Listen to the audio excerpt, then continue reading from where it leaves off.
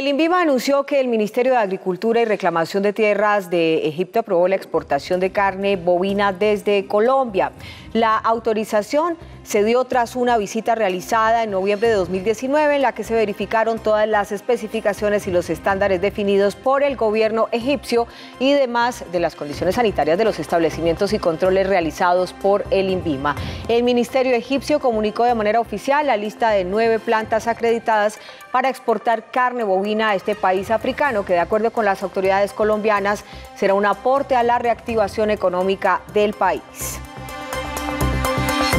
La Organización General para Servicios Veterinarios, Agencia Sanitaria de la hermana República Árabe de Egipto, habilitó nueve plantas colombianas de beneficio animal para que puedan exportar los productos cárnicos a ese destino.